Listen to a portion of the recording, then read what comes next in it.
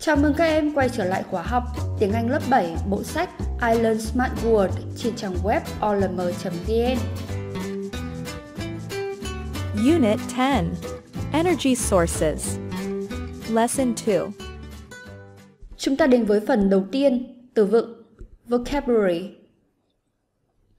Trong bài trước, chúng ta có học các nguồn năng lượng, các em có nhớ đó là gì?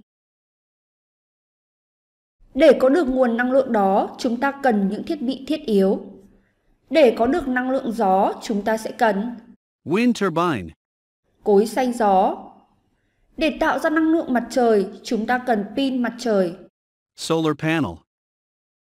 Hôm nay cô cũng giới thiệu một nguồn năng lượng mới, đó là năng lượng hạt nhân. Nuclear power. Và đây chính là nhà máy điện, Power plant. Nhà máy sản xuất điện năng ở quy mô công nghiệp. Wind turbine. Solar panel. Nuclear power. Power plant. Chúng ta cùng học cách miêu tả lợi ích Advantage. và bất lợi Disadvantage. của các loại năng lượng. Ví dụ như khi nói về năng lượng, cái có lợi chúng ta có thể là Renewable. tái chế được, ngược lại Non-renewable. là bất lợi. Hay có năng lượng thì chi phí xây dựng ít là lợi thế. Cheap to build. Ngược lại, Expensive to build. tốn kinh phí cao để xây dựng, Cheap to run. chi phí rẻ để điều hành. Cô có các từ còn lại như sau. Các em hãy sắp xếp các từ vào hai cột thích hợp. Đúng vậy. Vậy để miêu tả thế mạnh, Advantage. chúng ta có các từ như Renewable. Cheap to build. Cheap to run. Clean to run. để miêu tả điểm yếu, Disadvantage. chúng ta có các từ Non-renewable. Expensive to build. Expensive to run. Dangerous. Cause pollution. Noisy. Chúng ta cùng chuyển sang phần ngữ pháp, grammar. Hai loại năng lượng sau là năng lượng nào?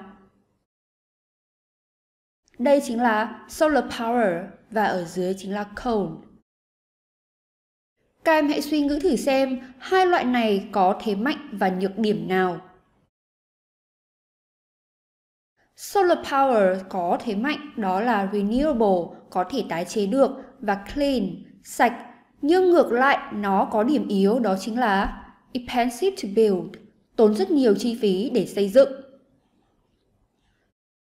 Than đá có thế mạnh là cheap, rẻ, nhưng ngược lại có bất lợi là cost pollution, gây ra ô nhiễm và non-renewable, không thể tái chế được.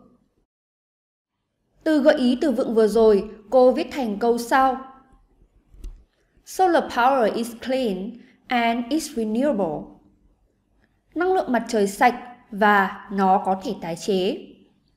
Solar power is clean and renewable. Năng lượng mặt trời sạch và tái chế được. Coal is cheap but is non-renewable. Than đá thì rẻ nhưng không thể tái sử dụng được. Coal is cheap but non-renewable. Than đá rẻ nhưng không tái sử dụng được. Sau khi theo dõi các ví dụ, các em có nhận thấy liên từ and và but được dùng như thế nào? Đúng vậy. And được dùng để đưa ra các thông tin tương tự as similar information. Ví dụ như clean và renewable đều mang nghĩa tích cực. Ngược lại, but được dùng để đưa ra các thông tin trái ngược nhau.